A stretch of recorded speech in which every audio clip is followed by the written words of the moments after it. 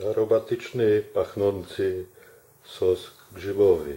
Witam, zapraszam dzisiaj do gotowania sosu grzybowego. Potrzebne składniki na 1,5 do 2 litrów sosów na 10 osób. 5 deko ugotowanych grzybków, podgrzybków, prawdziwków, dwie średniej wielkości cebule, pół papryki czerwonej, dwa ząbki czosnku, woda oczywiście, która pozostała po grzybach, łyżeczka pieprzu, łyżeczka soli, do 200 gram śmietanki kremowej mleka, jeżeli ktoś dietetycznie gotuje, olej, oliwa, szczypta tymianku lub szczypta imbiru. Wszystkie składniki na sos grzybowy mamy już rozdrobnione.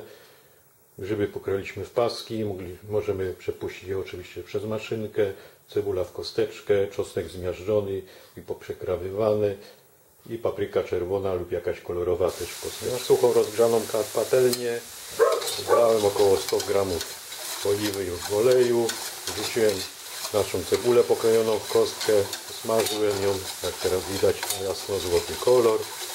Po tkaniu samego smażenia dodaję czosnek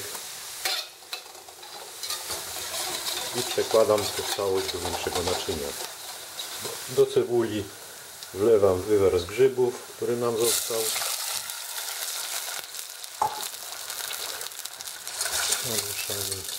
Oczywiście można zrobić zasmażkę na tej cebuli, no ja preferuję taki sos bardziej naturalny, fajniejszy, smaczniejszy, nie. No, dodajemy nasze grzyby pokrojone już lub pomielone.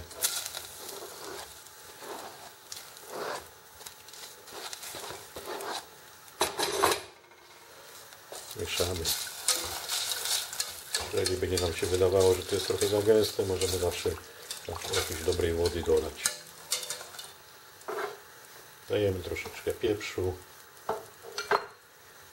soli, imbiru. Z imbirem musimy uważać, że za dużo damy, to może być gorzka potrawa. Te przyprawy po prostu nam wydobywają smak grzybów. Dlatego nie proponuję gotowania. Damy też tymianek na jakichś wywarach mięsnych. Tylko wywary jarzynowe sama woda da nam smak grzyba. Tak, może nam zakłócić smaki. Na koniec możemy dać tą śmietankę kremową. Całość mieszamy, zagotowujemy, a pokrojona papryka po prostu niepotrzebna nam jest. Do dekoracji tego sosu wrzucimy, będzie sos bardziej taki kolorowy, smaczniejszy wizualnie.